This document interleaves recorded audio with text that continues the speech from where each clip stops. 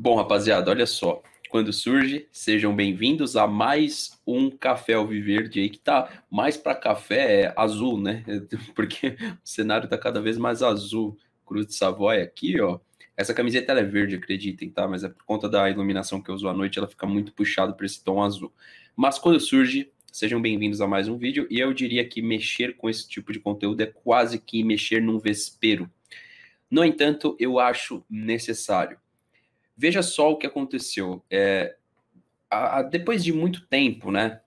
Depois de longos 10 anos aí da declaração do André Sanches, a gente vê o Corinthians, né? Enfim, pagando a conta. Uma dívida de 600 milhões, um estádio com uma dívida, no meu ponto de vista, impagável. Mas vamos tentar lembrar o que dizia André Sanches em 2010. As garantias da nossa parte jurídica, parte financeira, e parte de, de, de merchandising, tudo no estádio, para a gente não cometer. Sorrir hoje e daqui 5, 6 anos está chorando. Porque pode ser uma coisa muito boa no momento e depois pode se tornar um mico. Relação à Copa do Mundo, eu não acredito em nada perante o Corinthians. O Corinthians vai fazer um estádio para ele e não para uma Copa do Mundo, ou que vai depois pegar um da prefeitura ou do governo, quer que seja, para o Corinthians tomar conta. Isso não, o Corinthians não vai fazer esse tipo de parceria. Ou o Corinthians faz um estádio para ele ou não tem estádio. Olha só, em 2010 se pintava essa verdade. Temos que tomar cuidado, porque daqui a 5, 6 anos. E agora, longos anos depois, 2020, Juca Kifuri, em uma conferência, igual a gente faz aqui, numa live, ele abriu né, o seu coração e disse meia dúzia de, de situações que a gente normalmente não escuta nem dele nem de outro profissional da imprensa ainda mais dele alinhado com o governo anterior e muito mais corintiano declarado, olha as declarações do Juca Kifuri e eu queria que você pensasse e depois deixasse o seu sincero comentário aqui embaixo. Se liga. É inegável que o Andrés teve um papel, né? Uh, nesse, no começo deste uh, de momentos gloriosos do Corinthians. Mas eu costumo dizer, Tirone, e mantenho, e mantenho. E não é um elogio, para deixar bem claro, é uma crítica republicana que o melhor presidente da história do Corinthians se chama Luiz Inácio Lula da Silva. É por causa da existência do Lula como presidente da República que o Corinthians criou, construiu o CT que construiu, o Corinthians construiu a arena que construiu, que não era para ser paga. A arena era um presente da Odebrecht. Só que em meio ao presente estar se consumando, houve uma operação Lava Jato.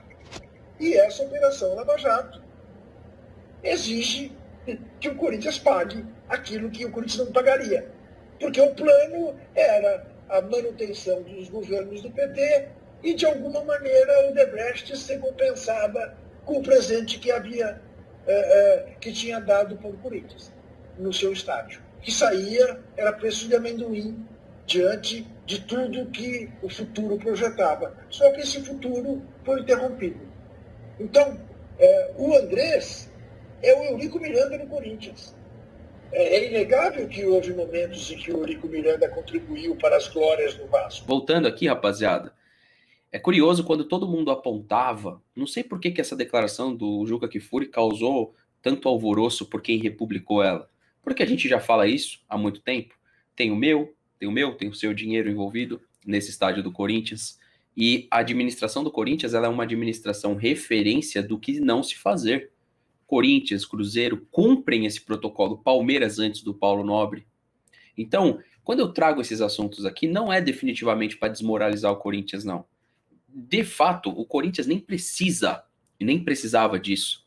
Não precisa de um presidente igual André Santos, não precisava desse estádio, da maneira e do, dos moldes, né? Vamos tentar passar por cima de tudo e todos, a custo do quê? A custo de ser campeão aqui, campeão ali, quem que vai pagar essa conta? O corintiano, o torcedor de bem? O André Sanches vai sair do bolso dele para pagar essa conta?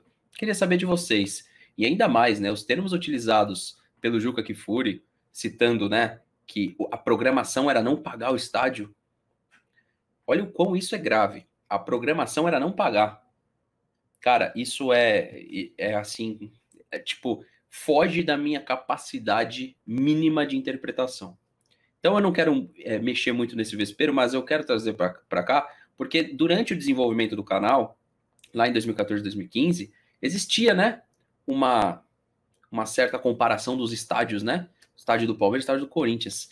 E aí eu também tenho que voltar para vocês entenderem o nosso lado da diferença de modelo de negócio, que é claro, não precisava nem fazer isso. Mas quando o Paulo Nobre citou a importância do sócio torcedor, que isso é algo que a gente tem que ligar, sinal de alerta, e também, obviamente, explicou um pouco do modelo de negócio do nosso estádio, que é um modelo totalmente diferente do estádio do Corinthians. É um modelo muito mais sólido e muito mais atrativo, né, para um clube sério, como é a Sociedade Esportiva Palmeiras. Se liga aí o que disse o nosso presidente anterior e o nosso futuro, se Deus quiser. Esse engajamento do palmeirense passou a ser uma fonte de receita maravilhosa.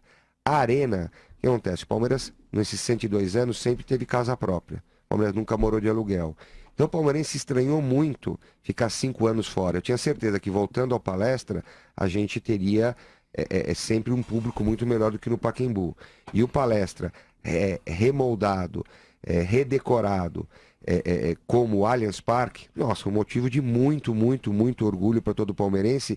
E realmente ele, num primeiro momento, é, é, encheu muito a arena e depois, é, com um time competitivo vindo da, da, das rendas da arena, das rendas do sócio torcedor, das rendas da televisão, das rendas de tudo que o Palmeiras é, tinha, e daí veio, vieram os patrocínios, coisa que a gente não teve em 13 e em 14, e o patrocinador realmente se empolgou é, é, com estar aparecendo na camisa do Palmeiras e fez um, um patrocínio que foi o melhor patrocínio do Brasil.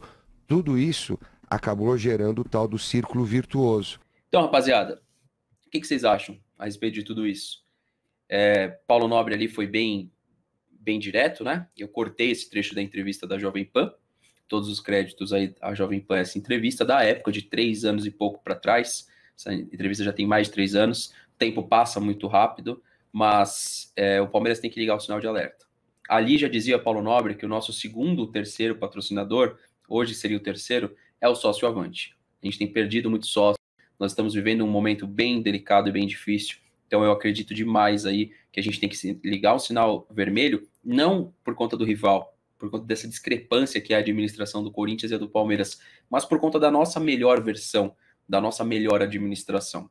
Então acho que fica um pouco do legado. Fazendo um giro rápido por mercado da bola, Daniel Munhoz diz que não tem pressa para sair da Colômbia, inclusive é um jogador que tem se destacado agora no futebol colombiano. O Palmeiras tem que tomar cuidado para não cometer os mesmos erros. Acho sim que é um baita lateral, apoia muito bem, joga muito bem, porém não dá para contratar hoje com o dólar do jeito que está neste momento aqui, ó, que eu acabei de fazer um print do, do valor do dólar, né?